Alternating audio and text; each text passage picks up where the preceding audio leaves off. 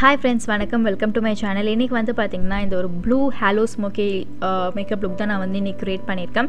Actually இந்த makeup look வந்து பார்த்திங்கன்னா வெறும் இன்ஸ்டாகிராமில் மட்டும் தான் அப்லோட் பண்ணலாம் ஷூட் பண்ணேன். பட் லாஸ்ட் வீடியோவில் நிறைய பேர் கேட்டிருந்தீங்க. ஸோ அதனால் நான் இங்கேயும் அப்லோட் பண்ணுறேன் இப்போ வந்து பார்த்திங்கன்னா ஃபவுண்டேஷன் கன்சிலர் வேலை எல்லாமே முடிஞ்சிருச்சு. இப்போ ஐப்ரோஸ் ஃபில் பண்ணிவிட்டு இப்போ வந்து ஐ ப்ரைமர் அப்ளை பண்ணிகிட்ருக்கேன் ப்ராடக்ட் டீட்டெயில்ஸ் வந்து கீழே இருக்கும்.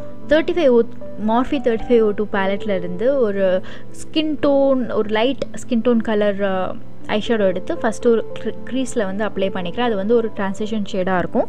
அடுத்தது வந்து ஒரு பிங்கிஷ் ரெட் கலர் வந்து சேம் அதே பேலட்லேருந்து எடுத்து மறுபடியும் க்ரீஸில் அப்ளை பண்ணி ஸ்லோவாக நல்லா பிளெண்ட் பண்ணிக்கிறேன். இது ஏன்னா டார்க் கலர் ஸோ நல்லா மெதுவாக சூப்பராக பிளெண்ட் பண்ணிக்கணும் இப்போது அடுத்தது வந்து பார்த்திங்கன்னா மெயின் லிட் கலர் லிட்டுக்கு வந்து பார்த்திங்கன்னா ப்ளூ கலர் அப்ளை பண்ணுறேன் இது வந்து பார்த்திங்கன்னா பேக்லேருந்து வாங்கினது இந்தியாவில் வாங்கின ஐஷேடோ இது ஸோ நல்லா ஸ்பார்க்லியான ப்ளூ கலர் இது. ஸோ இதை வந்து நல்லா ஐலைட்ஸ் ஃபுல்லாக அப்ளை பண்ணிட்டேன். அப்ளை பண்ணதுக்கப்புறம் மறுபடியும் சேம் அவுட்டர் கார்னர்லேருந்து நல்லா அந்த க்ரீஸ் ஃபுல்லாக அந்த ப்ளூ ஹார்ஷ் லைன் தெரியாத மாதிரி அந்த same Morphe blending brush use பண்ணி நல்லா பிளெண்ட் பண்ணிக்கிறேன். இதில் எந்த கலர்ஸுமே நான் வந்து டிப் பண்ணலை. ஜஸ்ட் அந்த ப்ளூவை மட்டும் நல்லா பிளெண்ட் பண்ணுறேன் அந்த க்ரீஸ் கலரையும் ப்ளூவையும் நல்லா பிளெண்ட் பண்ணிக்கிறேன். அவ்வளோதான் அதுக்கப்புறம் நான் என்ன பண்ணுறேன்னா ஒரு காப்பர் அண்ட் கோல்டு ஷேடு ரெண்டுமே வந்து கொஞ்சம் லைட்டாக டிப் பண்ணிட்டேன். ஏன்னா காப்பர்னால் ஃபுல்லாக அவ்வளோவா தெரியல. கோல்டுனா ரொம்ப அடிக்கிற மாதிரி இருக்கும். ஸோ அதனால் ரெண்டு கலரையும் மிக்ஸ் பண்ணிவிட்டு ஜஸ்ட் சென்டர் ஆஃப் த லிட்ஸில் அப்ளை பண்ணிட்டேன். அதுக்கப்புறம் அவ்வளோதான் ஸோ சிம்பிளான சிம்பிளான ஸ்டெப் தான். பட் இதில் வந்து பார்த்திங்கன்னா பிளெண்டிங் ப்ராசஸ் வந்து நிறைய இருக்கும். அதுக்கப்புறம் சின்ன விங் லைனர் வந்து நான் அப்ளை பண்ணிகிட்ருக்கேன் இப்போது ஸோ எப்பயும் போல் அடுத்தது காண்டோரிங் காண்டோரிங் வந்து நம்மளோட ஃபேஸுக்கு ரொம்ப ரொம்ப முக்கியம். ஃபவுண்டேஷன்லாம் அப்ளை பண்ணதுக்கப்புறம்.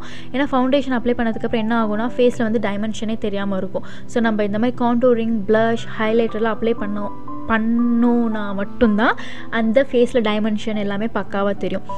நம்ம ஃபவுண்டேஷனில் அப்ளை பண்ணுறதுக்கு முன்னாடி நேச்சுரலாகவே நம்மளுக்கு அது இருக்கும். ஃபவுண்டேஷன் அப்ளை பண்ணதுக்கப்புறம் அந்த அந்த ஒரு காண்டோர் எஃபெக்ட்லாம் வந்து நம்ம க்ரியேட் பண்ணணும். அப்போ தான் வந்து மேக் மேக்கப் வந்து ரொம்ப பக்காவாக அழகாக இருக்கும்.